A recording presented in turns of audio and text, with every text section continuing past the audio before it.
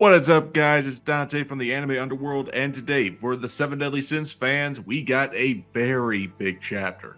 I know it's been a while since I last did a chapter review, and I mostly just been using them for shorts, but for this one, I really want to get into it because we got a lot going on for this one. If you like Seven Deadly Sins and more Four Knights of the Apocalypse material, like, share, and subscribe, help the Anime Underworld expand, and recommend me below what else I could possibly like to cover.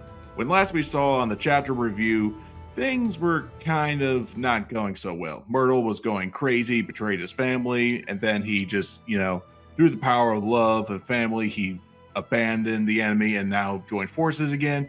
Those weird shadow cloaked hoodsmen turned out to be the White Knight, one of the four perils of Camelot. She kicked Sixtus's ass. King's power got sealed because of Kilbaggin sacrificing himself and cursing King. Just so much happened, and Nasiens awakened his fairy clan powers, controlling the Spirit Spear and helping his dad kick ass in the end against the White Knight. So it seems like we're coming to a very close end on this arc. We start chapter 151, not at all a tragedy. We start off with what is assumedly a nuclear bomb going off.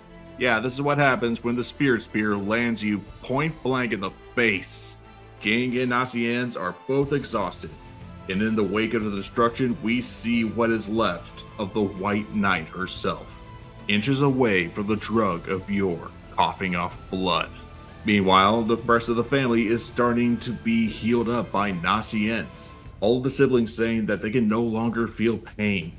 Their cuts are now just scabs. And Diane praises her oldest child by saying that he is a genius, but someone else has to disagree yeah, Zana and Sixtus are still kind of throbbing in pain, with Zana calling bullshit on this, and then you have Sixtus saying, Please help me do something. I'm dying.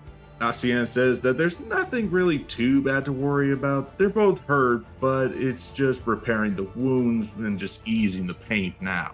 He's used, Nasiens is apparently using a new drug which just destroys the lesions of death even recreating missing tissue, calling it Percival. Oh, that's sweet.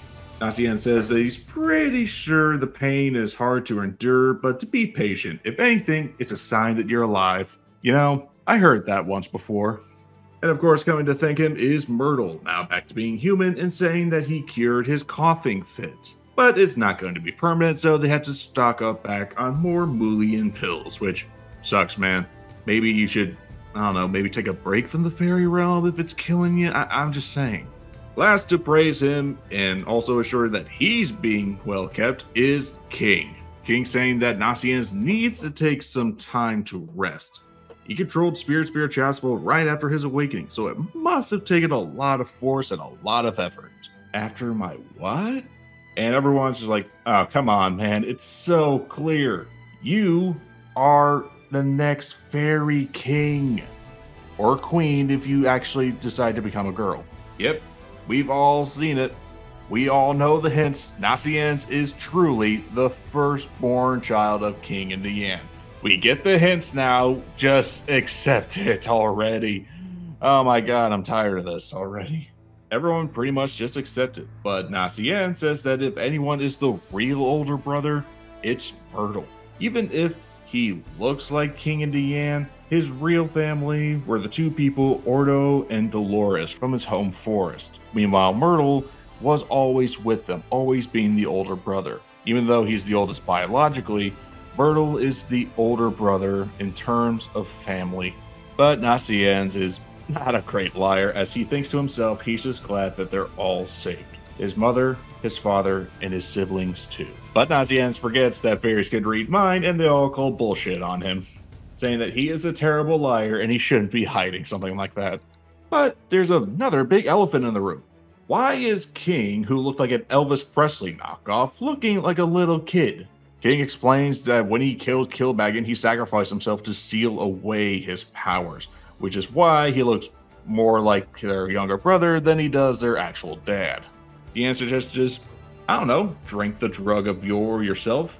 But yeah, after being hit with a nuke, I doubt there's any left.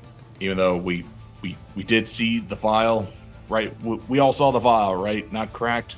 But Nasien suggests that maybe they just go see Hendrickson in Liones, which I just love this expression from King. I don't blame him. They they don't have a that good of a relationship with Hendrickson, especially after season one. Nasiens is ready just to make a quick trip to Liones and then Oh. Oh no. Yeah. The White Knight is back. And guess what? They didn't hear no bell. I didn't hear no bell. This bitch is relentless. How many times does she have to keep getting up to face this family? Because she took a sip of the drug of yore and she's like all peppy and happy and go like, hey, I figured I'd try it too, and wow! Truly, the drug of yore is really a miracle drug. And boy does it show. Diane's about to go all mom mode on the White Knight when shocks sting. they're they're gonna die. When the White Knight just unleashes a barrage of laser beam bullets at everyone in the royal family. Uh, it, it's hard being a Diane fan. And boy, oh boy, is this ruthless. The White Knight goes utterly and just bare bone badass and brutal upon everyone, going straight for the heart.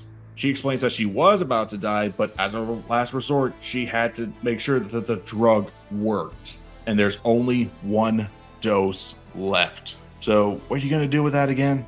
The only one left standing is Nasiens, with the White Knight saying that she has a few extra shots and is about to deliver a final blow.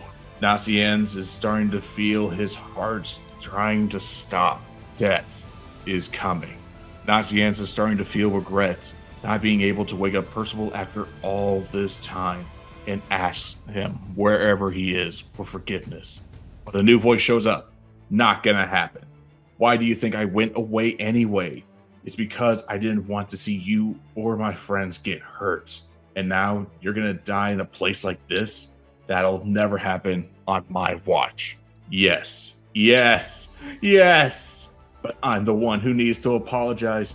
This was selfish of me. You all believed in me, but I left you behind. So you don't have to forgive me. Just let me fight one more time. Yes, yes, yes. Finally, after months and months of waiting for something to happen, Percival is back.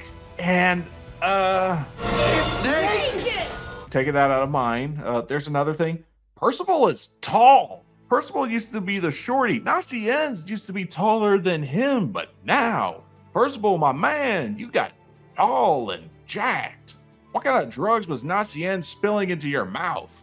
Okay, that came out a lot dirtier than I thought it was going to be. The knight of death has returned. There is now hope in the fairy realm. After a very bad ass tease that we got from Nakaba some chapters back, I'm sure you all know which one I'm talking about. Percival finally is showing his face again. Wherever he was, what was he doing? Why is he only coming back now? Two years, man. Two freaking years. This might be a sign that the Fairy Realm arc is finally coming to a close, and good. I'm getting tired of this arc. I want to see other characters again. Where's Tristan? Where's Gawain? What happened to Lancelot? What is the war going on for the rest of Britannia? Who's winning? Who's being killed off? What's going on? I want to leave this forest already. And it looks like we're about to. What's going to happen in chapter 152? Let me know in the comments. I'll see you later, mortals.